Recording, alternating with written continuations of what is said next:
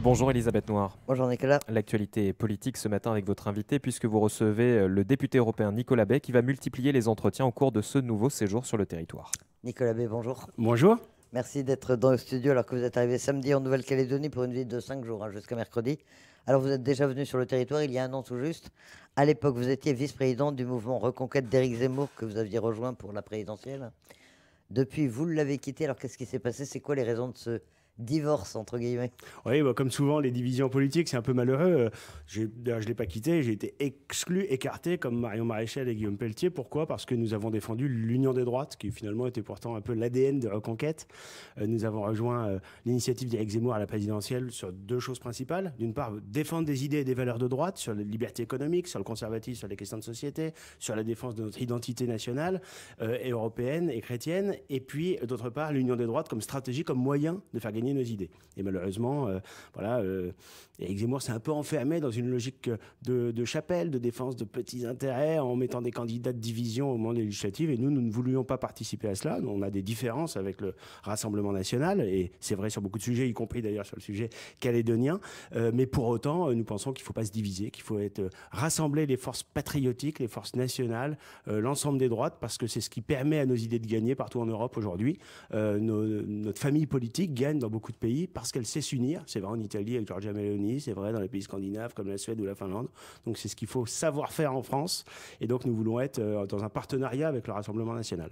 Et vous, vous êtes dans le parti Identité Liberté? Enfin, vous avez, vous avez rejoint ce parti. Euh, oui, bien sûr, oui, voilà, parce que la, démarche de Marion Maréchal, ça consiste à, poursuivre un peu ce qui a été, ce qui avait été initié dans le cadre de Reconquête, c'est-à-dire, euh, voilà, défendre nos idées et nos valeurs de manière intransigeante, mais en même temps s'inscrire dans une démarche de rassemblement et pas une énième division. Mais l'union des droites, c'est compliqué. Hein. Ah oui, l'union est un combat, disait Lénine. Euh, excusez-moi de citer Lénine. Alors, quelles sont les raisons de votre visite en Nouvelle-Calédonie bah, D'abord, je souhaite être aux côtés des Calédoniens parce qu'ils ont terriblement souffert ces derniers mois. Euh, je pense évidemment aux émeutes euh, à partir du, 13 mai, mais ensuite toutes les conséquences dramatiques de, ces émeutes, les conséquences économiques, la nécessité aujourd'hui de reconstruire. Et aujourd'hui, le sentiment que j'ai, c'est qu'il y avait à la fois de la part d'Emmanuel Macron une forme de courage que je reconnais, au-delà des divergences politiques, à dire il faut dégeler le corps électoral, ce qui est une nécessité, et en même temps, euh, euh, c'est ce qui malheureusement le en même temps qu'il caractérise toujours, une fois qu'il a les, tous les inconvénients, toutes les conséquences de, cette, euh, de ce courage politique, de cette clairvoyance, avec les émeutes, avec les indépendantistes qui commettent des exactions effroyables, eh bien, il s'arrête il renonce finalement à ce projet où il le diffère éternellement, ce projet à la fois de dégel du corps électoral et de réforme institutionnelle. Or, les Calédoniens à l'issue de ce qui a été prévu par les accords de Matignon et de Nouméa, euh, ont voté par trois fois, ont exprimé leur attachement à la France, leur volonté d'ancrer définitivement la Nouvelle-Calédonie dans la France. Et eh bien, il faut maintenant que cette volonté démocratiquement exprimée dans les urnes, eh bien, se traduise euh, par des actions juridiques, par euh, et, par la constitutionnalisation. Et malheureusement, il, il aurait dû réunir le Congrès de Versailles, selon vous? Oui, je pense. Et, si euh, notamment euh, le, bloc macroniste avait fait preuve de courage et de cohérence, euh, il aurait pu sans doute dégager la majorité nécessaire pour faire passer au Congrès cette réforme. Moi, je vois ici des élus qui sont très courageux. Je pense à Nicolas Metzor, à Sonia Baquès, qui font preuve de clarté et de fermeté sur cette question-là, même si euh, ils sont dans une autre famille politique que la mienne. Euh, et puis on a, euh, voilà, à Paris, et ça a été illustré d'ailleurs par le déplacement récent de Gérard Larcher et, et Yael Braun-Pivet, ils sont venus et finalement ils n'avaient rien à dire. Ils ont parlé de souveraineté partagée, ce qui est une ambiguïté terrible, alors que les Calédoniens, ils n'ont pas voté pour une souveraineté partagée. Ils ont dit la Nouvelle-Calédonie fait partie pleinement de la France. Et donc il faut en finir avec, voilà, ces revendications incessantes des indépendantistes qui, euh, voilà, qui n'ont pas eu le soutien de la majorité des Calédoniens dans les urnes. Comment est-ce que vous interprétez le mouvement du, du 13 mai, les émeutes qui se sont produites à ce moment-là On vous en a parlé Vous avez suivi d'où vous étiez? Oui, et puis j'ai eu l'occasion, là, ces derniers jours, euh, depuis que je suis arrivé, de rencontrer euh, voilà, des personnes qui, très courageusement d'ailleurs, hein, admirablement même, ont défendu leur quartier, ont aidé les forces de police qui étaient complètement débordées, submergées, en défendant leur quartier, en faisant des barrages pour empêcher les indépendantistes de tout casser. On, on a vu ce qui s'est passé. Les indépendantistes voulaient tuer des blancs. Il le disait ouvertement. C'était un racisme affiché, assumé. Euh, il voulait aller euh, attaquer les familles, attaquer les maisons. Voilà. Heureusement, euh, à la fois les forces de l'ordre ont fait tout ce qu'elles pouvaient et les citoyens se sont organisés pour les empêcher de, commettre l'irréparable, même si voilà les, les, les, dégâts sont quand même considérables. Et on voit qu'aujourd'hui, la Nouvelle-Calédonie a toutes les peines du monde à se remettre économiquement de ces émeutes. Ces émeutes, elles ont aujourd'hui des conséquences dramatiques, mais je pense que la fermeté, l'intransigeance même, est absolument nécessaire. Qu'il y ait. Euh, que les Kanaks euh, aient la volonté de, vivre selon leurs usages, leurs coutumes dans la tribu, tout ça, euh, non seulement est respectable, mais est même aujourd'hui garanti par la France. Et on imagine bien que si demain euh, il y avait euh, une indépendance, en réalité, eh euh, l'absence de protection de la France les empêcherait peut-être de vivre comme ils l'entendent, parce qu'il y aurait des puissances étrangères qui évidemment essayeraient de, faire main basse sur la Nouvelle-Calédonie. Mais, mais en revanche, ce qui n'est pas acceptable, c'est que c'est cette ces revendications d'indépendance en permanence, alors que les urnes ont parlé. Alors, les forces de l'ordre ont été présentes sur le territoire l'ordre public est aujourd'hui quasiment normalisé. C'est l'impression que vous avez. Vous venez d'arriver, mais on vous en a parlé. Oui, et on voit en même temps que c'est fragile. Euh, oui, euh, on a le sentiment que l'ordre, euh, républicain est, est, rétabli, en effet, mais, mais la question qu'on se pose toujours, c'est pour combien de temps? Si on, si, on, fait preuve de mansuétude à l'égard de ceux qui ont cassé, qui ont détruit, qui ont affiché leur racisme anti-blanc de manière aussi ouverte, eh bien, euh, à ce moment-là, ça se reproduira. Moi, je pense qu'ici, il y a, euh, il y a en réalité deux catégories. Il y a ceux qui euh, font preuve de, connivence, de bienveillance, de, de l'injustifiable de la part des indépendantistes, et puis ceux qui sont de vrais loyalistes, qui défendent euh, la France, qui défendent la Nouvelle-Calédonie dans la France, ce qui fait la grandeur de la France d'ailleurs. C'est nos outre-mer en général et la Nouvelle-Calédonie évidemment avec une position de choix dans la compétition indo-pacifique, avec des, ressources minières considérables, avec le nickel calédonien qui peut être une force, un atout considérable. Voilà, on a beaucoup de. Euh, la Nouvelle-Calédonie est une est, est, une richesse pour notre pays. Voilà, il faut le dire et le rappeler. Et, c'est aussi pour ça que voilà, la France doit être au rendez-vous, que l'État doit se faire respecter ici et qu'on doit en finir avec une période euh, qui a trop duré d'instabilité, de, de, de, d'incertitude. Euh, Aujourd'hui, euh, dans le cadre de la reconstruction, si on veut qu'il y ait des investisseurs qui arrivent, si on veut que les entreprises viennent ici ou reviennent, ou qu'il y ait des investissements pour le développement économique, pour la prospérité, pour l'emploi en Nouvelle-Calédonie, eh bien, il faut sortir de l'incertitude politique et juridique le plus rapidement possible. Ah, justement, sur le plan institutionnel, on parle de reprise des discussions avant un accord global qui serait l'objectif et qui devrait intervenir au premier trimestre 2025 pour pouvoir organiser les élections provinciales avec un corps électoral modifié avant la fin novembre 2025. Qu'est-ce que vous pensez de ce calendrier? Est-ce que vous pensez que les différentes étapes pourraient être tenues? Est-ce que vous pensez possible un accord? Écoutez, euh, moi je ne suis pas un responsable politique calédonien, alors je n'ai pas toutes les subtilités de ces discussions, mais ce que je vois en tout cas, c'est qu'il ne peut pas y avoir euh, le, gel du corps électoral maintenu dans la perspective de ces futures élections provinciales. Euh, euh, euh, on peut, bien sûr qu'il doit y avoir des discussions, et bien sûr que notamment les, éléments les plus raisonnables parmi ceux qui, voilà, qui, ne sont, qui, ne défendent pas forcément le, comment dire, une Nouvelle-Calédonie totalement française. Moi, je regrette leur position, mais évidemment qu'il faut leur parler.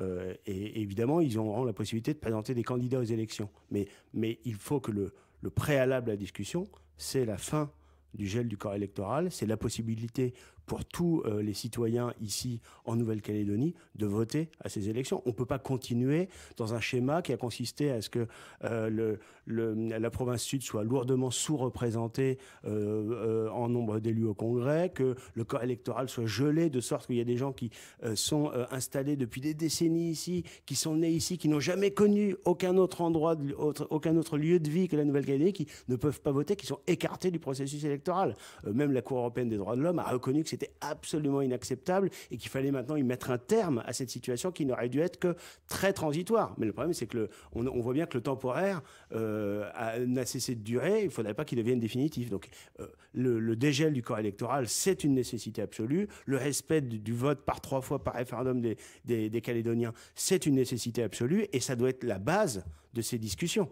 Voilà. Si la discussion, c'est de, de, maintenir le gel du corps électoral ou, totalement ou presque totalement, c'est inacceptable. Vous êtes député européen, je te rappelle. Euh, le Parlement européen suit d'une manière ou d'une autre la Nouvelle-Calédonie des gens qui sont qui s'y intéressent. Est-ce qu'elle est évoquée parfois euh, dans les débats au Parlement? Je crois que oui. Euh, j'essaye. Je fais partie de ceux euh, patriotes français qui, dans l'hémicycle de Strasbourg, essayent de parler régulièrement de la Nouvelle-Calédonie, de la situation. Ce qui est vrai, c'est qu'il y a beaucoup de pays européens qui connaissent mal et beaucoup de, des élus des autres pays qui connaissent mal l'outre-mer et les spécificités. Moi, ce que je regrette en particulier, c'est que les fonds européens, qui sont finalement qu'une partie, la récupération d'une partie de seulement de ce qu'on verse chaque année au budget de l'Union européenne, eh bien les, la Nouvelle-Calédonie n'en bénéficient pas du tout, puisque seules les régions ultra-périphériques, c'est-à-dire les départements et régions d'outre-mer, euh, bénéficient de ces, aides européennes. Aujourd'hui, euh, compte tenu de la situation dramatique de la Nouvelle-Calédonie, compte tenu euh, des conséquences économiques et sociales des, émeutes du mois de mai, eh bien, il y aurait une nécessité que, voilà, que l'argent qu'on verse à l'Union européenne chaque année, eh bien, ait au moins une partie, puisque ça sort de, la poche du contribuable français, eh bien, qui bénéficie à des territoires en difficulté comme la Nouvelle-Calédonie. Nicolas, une question euh, d'actualité. Vous êtes poursuivi dans le procès des assistants parlementaires du, Front National, euh, puisque vous, avez été élu sous cette étiquette. Le parquet a requis contre vous 18 mois de prison, dont 12 avec sursis, 30 000 euros d'amende, 3 ans d'inéligibilité avec exécution provisoire. Ça veut dire que, comme Marine Le Pen, si jamais la peine était confirmée, vous ne pourriez pas faire appel euh, comment vous réagissez à bah, On voit bien que euh, ces réquisitions qui sont totalement délirantes montrent que le parquet s'inscrit dans une logique de procès politique. D'ailleurs, cette affaire-là, euh, elle remonte à il y a dix ans. C'était le président socialiste du Parlement européen, Martin Schulz, qui avait, avait demandé à Madame Taubira, ministre socialiste de la Justice, d'engager une procédure contre nous. En, expliquant que nos assistants parlementaires ne travaillaient pas pour nous en tant que députés européens, mais pour notre activité partisane. Alors qu'évidemment, tout le monde comprend bien que quand on est un responsable politique, quand on a des responsabilités dans un parti et qu'on a un mandat parlementaire, eh bien, euh, la, personnalité politique, elle forme un tout. Et c'est pas parce que nos assistants nous aident dans le travail politique euh, parlementaire qui ne se limite pas à ce qu'on fait dans l'hémicycle de Strasbourg ou de Bruxelles qu'on euh, a commis une infraction pénale. Voilà. mais on voit bien qu'il y a une volonté de, mise à mort politique, on a des institutions judiciaires aujourd'hui qui sont très discréditées en France. Beaucoup de Français, légitimement d'ailleurs, n'ont pas confiance dans la justice de leur pays. On voit une justice qui est, intransigeante avec les adversaires politiques euh, du système que nous sommes, mais par contre qui est toujours pleine de mensuétude à l'égard des voyous, des criminels, des délinquants. Et voilà, donc euh, il, faut, il faut évidemment que la justice, pour être respectée, eh bien, euh, euh, ne, soit pas instrumentalisée politiquement. Aujourd'hui, on a une justice qui malheureusement est instrumentalisée politiquement. Vous pensez que Marine Le Pen pourrait être empêchée, effectivement, d'être Ce serait un scandale incroyable. Moi, j'ai quelques différences avec Marine Le Pen. J'ai eu l'occasion de les exprimer ces dernières années. Mais aujourd'hui, on voit bien que des millions de Français, euh, et peut-être même une majorité de Français, selon les sondages, envisagent de la placer à la tête de l'État, la faire élire à l'élection présidentielle. Les privés du débat démocratique et la possibilité de choisir euh, librement leur candidat, c'est évidemment absolument inacceptable. Et ce n'est pas euh, ni à un procureur ni à des juges de décider à la place des Français. Euh, il y a un principe de séparation des pouvoirs et on voit bien que ce genre de procès politique et les réquisitions délirantes avec exécution provisoire qui remettent en cause l'état de droit, qui remettent en cause le principe d'un procès équitable, le principe de pouvoir faire appel et d'avoir des voies de recours possibles contre une décision de première instance. Voilà, le fait de, tout remettre en cause, tout l'édifice juridique uniquement à des fins politiques politique politicienne, eh bien c'est très grave et ça, porte atteinte au, grand principe de séparation des pouvoirs entre l'exécutif, le législatif et le judiciaire. Pour conclure, vous êtes arrivé euh, samedi, vous repartez mercredi. Euh, votre programme, qui allez vous rencontrer? Qu'est-ce que vous allez faire? Eh bien, avant tout, j'ai commencé et je vais continuer de rencontrer euh, des Calédoniens, des acteurs économiques, des, bien sûr des, responsables politiques, bien sûr aller dans les médias euh, comme je le fais aujourd'hui avec vous avec grand plaisir, mais euh, je veux surtout euh, prendre bien prendre la température en quelque sorte, voir ce qui se passe, rencontrer les habitants, ceux qui ont souffert, ceux qui essayent de s'en sortir, des acteurs économiques, mais aussi voilà, des, acteurs plus institutionnels. J'aurai l'occasion de rencontrer les forces armées, j'ai eu l'occasion de rencontrer des policiers. Voilà, pour essayer de bien comprendre la situation en Nouvelle-Calédonie et et porter une voix en tant que patriote français, euh, eh bien, c'est de dire maintenant, voilà, il faut que la Nouvelle-Calédonie soit respectée, il faut que le vote des Calédoniens soit respecté, il faut que le dégel du corps électoral ait lieu, il faut ancrer définitivement dans la Constitution euh, la Nouvelle-Calédonie dans la France. Une fois que vous porterez en métropole ou, au Parlement européen bah, Les, deux, hein, je peux, voilà, euh, évidemment en métropole, parce que malheureusement, les Français ont beaucoup entendu parler de la Nouvelle-Calédonie il y a quelques mois. Aujourd'hui, ils en entendent moins parler. Euh, dans, le, voilà, dans les médias hexagonaux. Euh, et pourtant, eh bien, la situation aujourd'hui reste euh, pleine d'incertitudes. Et cette incertitude est très néfaste à ce territoire. et puis les, Calédoniens souffrent, pas, pas, pas, des émeutes, pas des exactions. elles sont maintenant derrière nous, mais voilà, des conséquences économiques et sociales. Et aujourd'hui, eh bien, la Nouvelle-Calédonie a besoin d'avoir une France et un État qui est fort, qui est puissant, qui se fait respecter euh, et qui permettent euh, voilà, un avenir prospère et une stabilité ici en Nouvelle-Calédonie. Il faut sortir de l'incertitude. Nicolas B, merci d'accepter notre invitation. Merci à vous.